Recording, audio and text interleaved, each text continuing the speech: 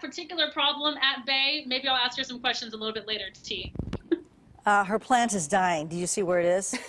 It's a house Oh. plant. No. No sun. It's a house plant, but it's not even near a window. Just kidding. And she said it's dying. it. She says it's It dying. died. No, it's Send a dying. Oh, send a picture to me. Okay. Okay. lady. So we're gonna talk about poop or something. well, always.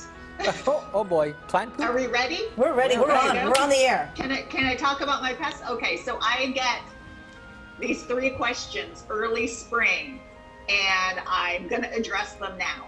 So the first one is, and I've already addressed it earlier, is powdery mildew. So you may notice your roses and other plants get this. Let's see if you can see it. This white coating right there. See that? Yeah. White coating all over the plants. It's like a dust. That is a foliar fungus. Now, if you don't want to go out, if you haven't been to the store and you're like, well, I, I don't want to go to the hardware store, you could try using baking soda.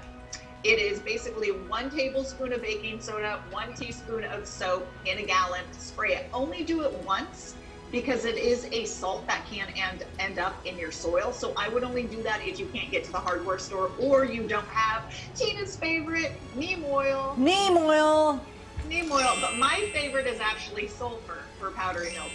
Oh. And there's another product called Serenade, and it's a natural bacteria that you could spray. Remember, none of this is going to get rid of the existing uh, powdery mildew. It's just going to prevent the spores from landing on top of the other uh, leaves. Now, usually when it gets dry and sunny, it'll dissipate on a lot of your plants, but of course, then your cucurbits in, in summer can, can get it as well. So, powdery mildew. Number two is the poster child of spring pests, which is aphids. Let's see. Ew. Ew, gross. This is a pepper that's been inside my house, and it's from seed. And Oh, there's a cat. Has, oh, kitty, go away. That's Ophelia. Ophelia. Ophelia. It's the it's the plant. So, okay. So aphids will dissipate as well. Now look for natural predators. If you see these swollen beige like mummies, they look like they're called aphid mummies. Then you have natural predators. If you have ladybugs, you have natural predators. Don't eat that. No, no, no, no. Use a hose blast. A hose blast works, or you can make Dawn soap five tablespoons in a gallon of water, um, or neem oil. But usually they just go away. Don't worry about them. Okay, last one. A lot of questions. Is this? Do you see that? Yeah. What is that? I've seen that before. That, yeah, that is peach leaf curl.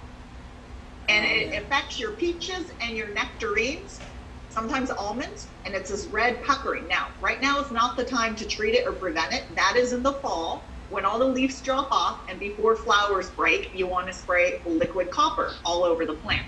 Right now, the only thing to do is to pick up those fallen leaves. You could even pick them off of the plant if you have some. Okay. And uh, if the tree defoliates a lot, give it extra nitrogen so it puts on a new flush of leaves. But in the fall is when you want to treat it. And I actually have examples of what to do with your peach leaf curl and aphids on my YouTube channel, Marlene the Plant Lady. So I put pictures there and you can see what those aphid mummies look like. But really, don't panic. Pests are going to happen. You need pests for the natural uh, beneficials to eat and to use as a host. So remember, a lot of times they just dissipate, and a plant can handle a good amount. You just have to sort of monitor and use the most mild uh, pesticides possible. Okay. Where's Ophelia? Ophelia